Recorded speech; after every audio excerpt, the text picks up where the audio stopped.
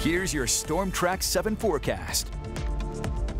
Good Sunday morning to you all. This is Storm Track 7 meteorologist Robbie Kamidari. Last night we saw some more showers and storms roll through the area, even at least ignited some severe thunderstorm warnings across portions of the area. We still have some lingering showers and even some moderate rainfall down to our south.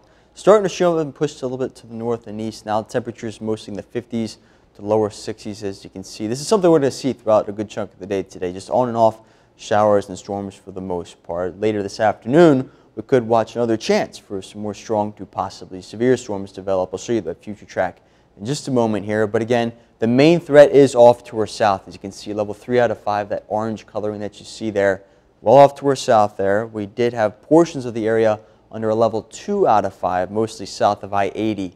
Uh, level 2 out of 5 slight risk yesterday. But again, the main trends have been pushing this off to the south, which of course is some good news, but the entire area is still under this level 1 out of 5 uh, risk for severe thunderstorms later on this afternoon, say around or after 6 o'clock till about midnight or so. Still, main area in our viewing area to keep an eye on is those southern, those far southern locations. Main threats would be wind and hail, as you can see here, but we still can't rule out the chance for a tornado or two.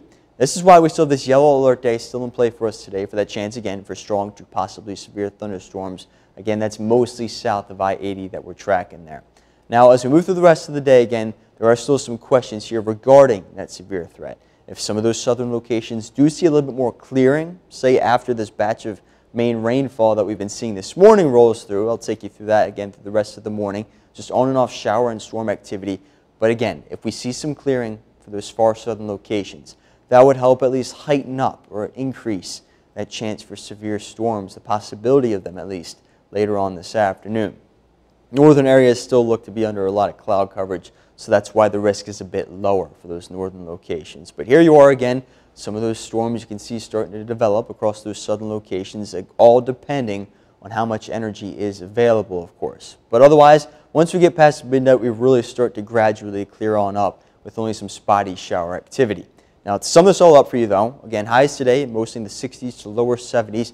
It will be a bit windy out there outside of any thunderstorms that do develop, especially later on this afternoon. Gusts upwards of 30 miles per hour. Those lighten up a bit tonight, and the main chance for showers and storms is up until about midnight. Thereafter, we definitely start to see decreasing cloud coverage. Still something to keep an eye on. Otherwise, lows in the upper 40s to lower 50s across the board. And when it's all said and done, by tomorrow morning, we could see another round half an inch or so. That's mostly from this morning's rainfall through the late morning time frame, but some of that could be from any heavier storms that do develop. That's why we are watching that more blue shading that you see there uh, for some locally higher amounts that could be possible. Otherwise, heading into tomorrow morning, like I mentioned, still some spotty showers are possible across portions of the area on the back side of this storm system. But heading into Tuesday, later on in the afternoon, especially towards the evening, we have another chance for some showers and storms. And some of those could be strong to possibly severe. The main risk is across western Iowa, as you can see with that level 2 out of 5 risk. But across far western portions of our viewing area, we are under a level 1 out of 5 risk. Hail and wind still seem to be the main threats right now, but can't rule out a quick spin up or two. Otherwise, once we're past Tuesday, Wednesday, of course, is the first day of May there. We do have a couple chances for some scattered shower activity all the way through the end of the week. But next weekend right now, it's looking a little windy to start. Highs mostly in the 60s.